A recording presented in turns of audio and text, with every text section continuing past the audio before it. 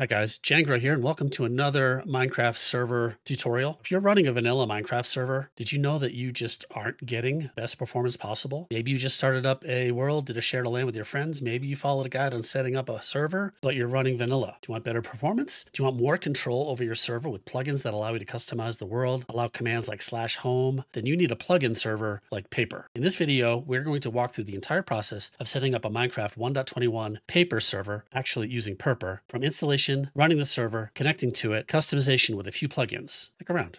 Now in this video, I'm going to show you how to set up a paper server on your own PC. The downside of that is while it's free, it's not always on unless your computer's on and your computer's running the server. You also have to do port forwarding on your firewall to let your friends in from the outside. An alternative to that is to use a Minecraft server hosting provider like Apex Hosting, who is a sponsor of this video. Having a hosted server is always available. It's outside of your network so your friends can just connect to it directly. All you have to do is go to apexhosting.com. If you do, use my link, jangro.com slash apex. That helps support the channel. But get started, choose a server. Here's a six gigabyte one. Then just search for Purpur and install the 1.21 latest server. And you're going to get exactly what we're setting up in this video. We'll look at the control panel in a little more detail at the end of this video when we're setting up plugins. All right, let's set up our own paper server. Okay, to set up our own Minecraft server using paper, the very first thing we want to do is just make a folder. I'm just going to put it right here on my desktop. Now we just need to download these server files. Now we can go to papermc.io and download paper from here, but we're actually going to install Purpur, which is basically an exact drop-in replacement for paper, and it just adds some things to it. Let's go to download latest. Here it is right here, and we'll drag this into our paper server folder. All right, here's our folder. Let's rename this to paper.jar, even though it's Purpur. The reason for that is if you look at the documentation for Purpur, it tells you to use the installation from paper. That's how close it is to it. So right down here, here's run, the running the server, and here's the command we need to use. So we're just going to copy this. I'll put this in the description, and it's also in a blog post that I've written and linked to in the description. We need to create a text file, new text document, and we're going to rename this start.bat and delete the txt extension. Warning us that we're, changing the extension to start.bat, which is what we want. And then we right click and then edit notepad and paste in that line that we just copied from the installation and we put pause at the end. So here, quick configuration to tell it how much memory to use. It's using four gigabytes of memory for this server. If we have a lot of people connecting, we can increase that. Save it, close it, I also want to mention here that if you don't see file extensions on here, it complicates things a little bit. Open up the view menu, click show file name extensions. Now I'm turning that off. It toggles it. So if we do view, show, file name extensions, you get the .jar and .bat on here. That makes it easier to make sure that you've got the right .bat versus a .txt extension.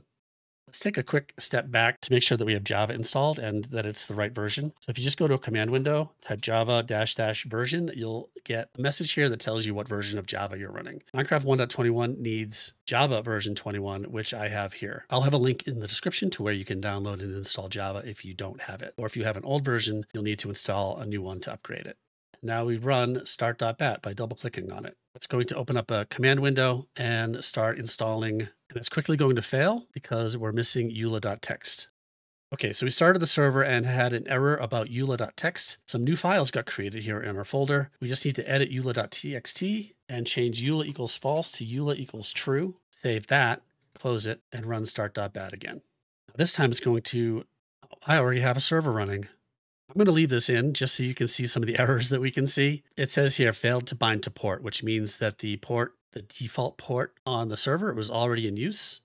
I do have another server running. That was the one that I was talking to you on in the beginning of the video. Okay, I killed it. Let's run start.bat again. You can see a bunch of other files got created here in that process. This time it should work. And here we are. Okay, if we bring Minecraft, this is just vanilla Minecraft 1.21 multiplayer. And here I have a localhost server connected. It's just connected to localhost. Let's make a new one just to make sure this works. 1. 127.0.0.1. That's your local IP address always. You could use this or localhost. Here it is right here. And here we are in our horrible spawn. Okay, now that we have a server running, we need friends to be able to connect to it, right? So let's open up a command window and talk about how to do that. So here's a second command prompt window. We type ipconfig This is going to show us all the IP addresses connected to our machine. So our local computer address is 10. in my case, yours will probably be different, is 10.0.0.209. This is the IP of this server inside of my network. Outside of my network from the rest of the world, that's going to be a completely different IP address. To get our external IP address, we can go to a website like showmyip.com and you're going to get a you're going to get IP address, and this is what people outside of your network will connect to. You want to use the short one that is just numbers, not the one that is just a bunch of numbers and letters. Mm, I've got these blocked out because I don't want to dox myself. This is the IP address that you're going to share with your friends. This, by the way, is why you only want to do this with people you trust because you don't want people trying to get make their way into your network.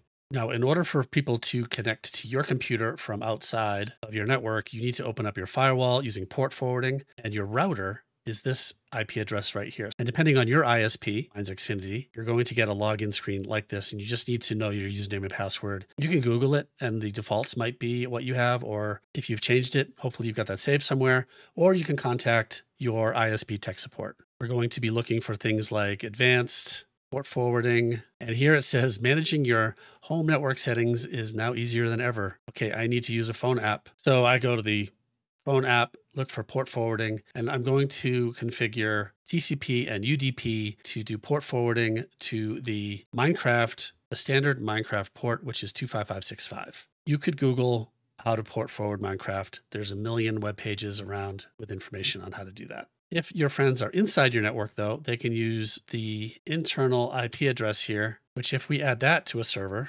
here's yet another connection to that same IP address. We've got localhost can connect to this server. We've got 127.0.0.1. Again, only you can connect to your server with this address or localhost. Your friends inside your network will use this. If this doesn't work from inside your network, you might have to configure your Windows firewall to allow the Minecraft port in. That's all kind of messy. Personal home networking can be a little tricky. There are a lot of resources for you to figure out how to do all that for yourself. There's just so many different ways and so many different routers. I can't possibly go through them all. It's not so hard. But an easier way to do that is to get a hosted service provider and you don't have to worry about any of this stuff or keeping your computer on or security issues with opening up your firewall on your router. Okay, let's set up a few plugins.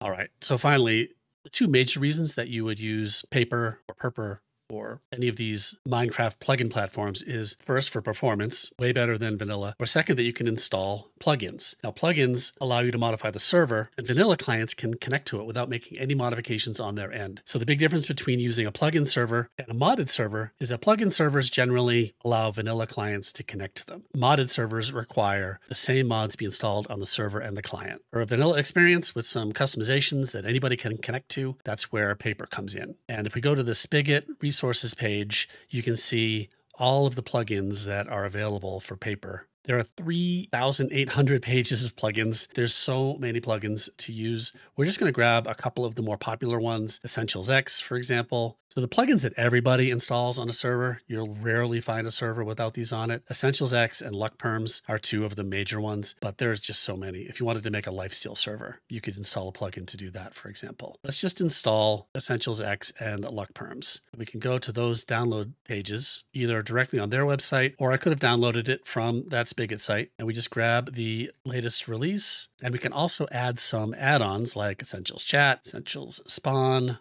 Essentials Discord, Discord links, all kinds of stuff. And let's grab the LuckPerm one. And again, here we want the Bukkit one, which covers paper. And we've got that downloaded. So now we've got all these plugins here. We just need to drag them into the plugins folder on our server. Let's stop the server. And then we just drag these into the plugins folder. Here's all these essentials that we downloaded and luck LuckPerms is here. And then we start the server again. You can see in the logs that some of these plugins are getting installed. There is some configuration that needs to be done. For example, this error, the Essentials Discord needed some login information, some authentication to be able to use that plugin. That's it. Type the plugins command and see what plugins are installed. This one's red because there was an error, but these other ones are running. If we connect to the server again, we can do the same thing from here. Ouch, ouch. You can see here, oh, figures, it's nighttime. Anyway, the plugins command shows us the plugins that are installed. Now, if we're using a hosted server like Apex, it's even easier. You can just go into the control panel. Most hosting providers have this kind of functionality, plugin list, and you just search for the plugin that you want to install. So let's install LuckPerms. Just search for LuckPerms. Here it is right here. Click the install button. Just restart the server and it will have LuckPerms on it. All right, there you have it. We've set up a paper server and we've installed a few plugins just to see how that works. What plugins you're going to want to install really depends on how you want your server to run. I'll do some videos in the future about some cool plugins you can install. All right, I hope that was useful. Thanks for watching. We'll see you next time. I appreciate you.